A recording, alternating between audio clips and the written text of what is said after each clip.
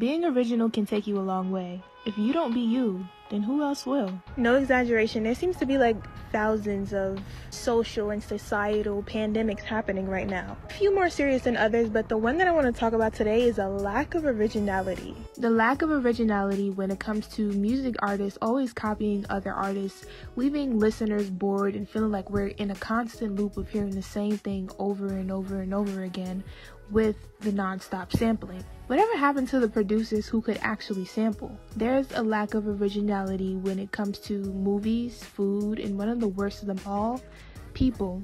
I'm sick and tired of seeing these weird white room videos, terrible BBLs, recycled unoriginal and ignorant opinions on Twitter, and need to just put down the microphone and read. I genuinely think that people are so afraid of being themselves for more reasons than one. Originally, I was at a toss up about what I should title this video, and I was also wondering if I should even create this video because it's something different that would allow me to explore my own originality and my own creativity, which is something that I'm not as used to doing as much as I should be. So I was stuck in between creating based on what I feel and creating based on what the algorithm would like. But the algorithm excuse my French. But bending over backwards and compromising your uniqueness for a platform or social and societal standards or external validation just doesn't make sense. I think that that is exactly what people's problem is and why there's such a lack of originality. It's because everybody wants to do something, but nobody wants to do it in a way that would guarantee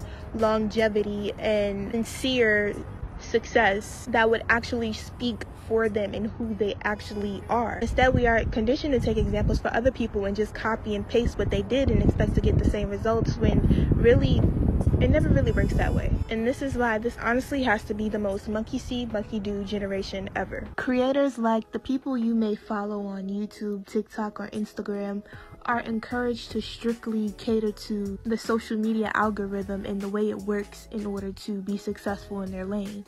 This could also apply for music artists being pressured to conform for the industry, which isn't necessarily always a bad thing because there are rules in everything you do, especially if you're relying on marketing and the psychology of people and what they like but they start to lose themselves in it because they focus too much on what other people want and not enough on what they want.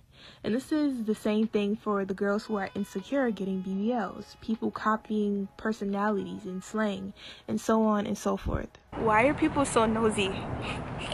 Digital media in itself is the most effective form of communication when it comes to how fast and how quickly we can relay information to one another, and sometimes people can get lost in that because of waves and because of trends. Trends aren't anything new, we participate in trends all the time, like when we celebrate holidays, seasonal cycles, go shopping for clothes, and when we talk about news and trending topics all the things that we are used to doing as a collective.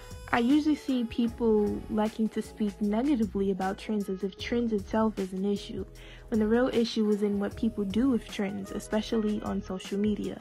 Like when they decide to shame others for not participating in them, or when people start basing their entire personality around something just because it's trendy like Hypebeast, for example. So earlier when I said forget the algorithm, that doesn't only apply to social media. It could apply to anything. It could be the algorithm of societal standards that you feel pressured to fit into the algorithm of other people's opinions and personal thoughts about you, or the algorithm of your own doubts, thoughts, feelings, and fears that hinder you. Originality is important in anything that you do, whether you're a creator or just a regular person doing regular things. Even in your everyday lives, it's important to be original in anything that you do because your uniqueness separates you from the crowd. And I find that being original also gives you a sense of pride, knowing that you could just show up in a room being yourself and the people who vibe with you will vibe with you because they genuinely connect with you and because they genuinely like you, not because they're connecting with the false facade or a character that you're taking when you're around them. Don't get me wrong, feeling loved and seen from other people is important and it is a good feeling because of things like community. However, the most important thing from being original and being yourself is the amount of self liberation and confidence that you receive from it. I would be lying to you if I told you that there weren't points in my life where I struggled with my own originality. How and if I even wanted to express it in this society, in this culture, in this generation is kind of hard not to feel that way. It's kind of hard not to be hesitant to show your uniqueness because there are many, many, many things in place that are used to shame um, quote unquote weird or quirky people or anybody who's just different from the box that society likes to put you in. Like, everybody has a personal box that people in their personal lives would like to put them in because that's how they see them. But anytime that they want to do something outside of that, then it becomes an issue.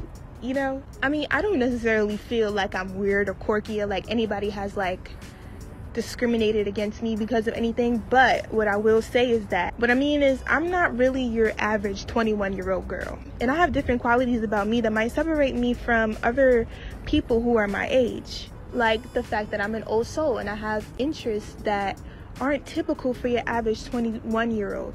I have interest in things like the metaphysical, um, spirituality, numerology. I like listening to old music. I like listening to jazz. I like basic stuff that you would never really imagine a 21 year old liking or imagine somebody who looks like me liking.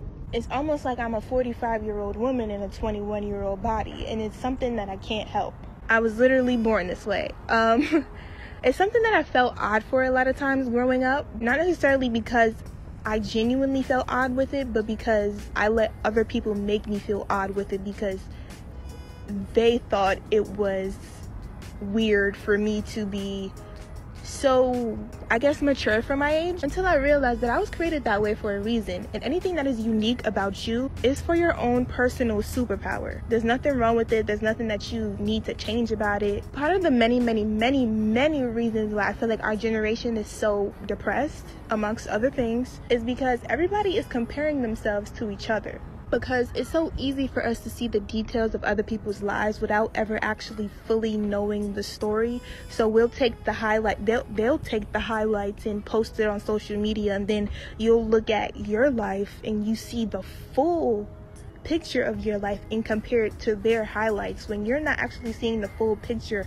of their life and realizing that they have struggles too. I mean, it's only natural for humans to compare themselves to others um even if it doesn't make sense to do so. It's a natural and it's a human thing. And because of that, don't ever let nobody tell you that that's not something that they ever did in, in an attempt to make you feel bad about doing it because it's not the truth. Everybody's done it. Even if it was only for a split second that they thought about it, everybody has in one way or another compared themselves to another person. But comparison is the thief of joy and it robs you of the confidence in wanting to be original and wanting to be yourself and wanting to show up as yourself.